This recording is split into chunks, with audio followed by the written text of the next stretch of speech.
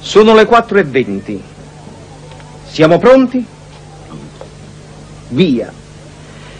Signore e signori, questo è mio fratello Alfonso, è venuto da me perché ha bisogno di 100.000 lire. Eccole qua. Queste sono le 100.000 lire e io le metto qua sul tavolo a sua disposizione. 15 anni fa, nostro padre, che Dio l'abbia in gloria, ci lasciò in eredità due terreni a Soccavo. Allora, a quell'epoca, la zona non era valutata, però io dissi a mio fratello, Alfonsi, non te lo vendere questo terreno, perché questo terreno fra poco diventerà suolo edificatorio e solo un imbecille se lo venderebbe. E lui invece che ha fatto? Eh? Che ha fatto? Me lo sono venduto. E allora che cosa sei? Un imbecille. No, devi dire sono un imbecille. Sono un imbecille. Povero. E andiamo avanti. Con la vendita di Soccavo, mio fratello ricavò 36 milioni. Oggi, a 15 anni di distanza, non ha più una lira. La prima cosa che si comprò con i soldi di Soccavo fu un abbonamento al Calcio Napoli. Domanda, che tipo di abbonamento si fece? Eh? Curva? Distinti? Tribuna. Tribuna numerata, vuoi dire?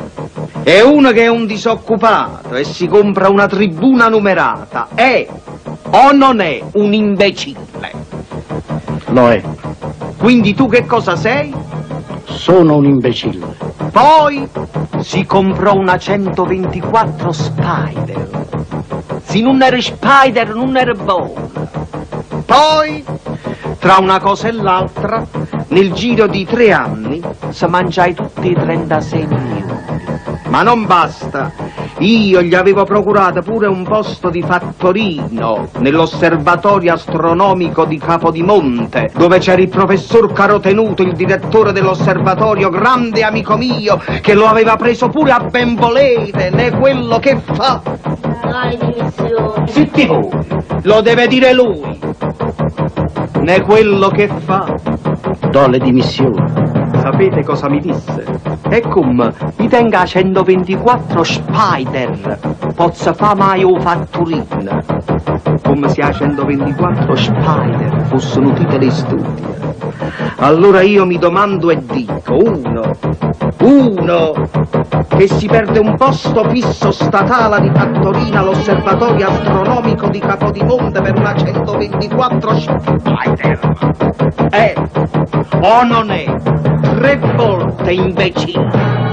Per cui io chiedo adesso ufficialmente a mio fratello, Alfonso Caputo, che cosa sei tu? Alfonso Caputo, che cosa sei tu? Lo sapevi che non ce l'avrebbe fatta. Oggi era troppo nervoso.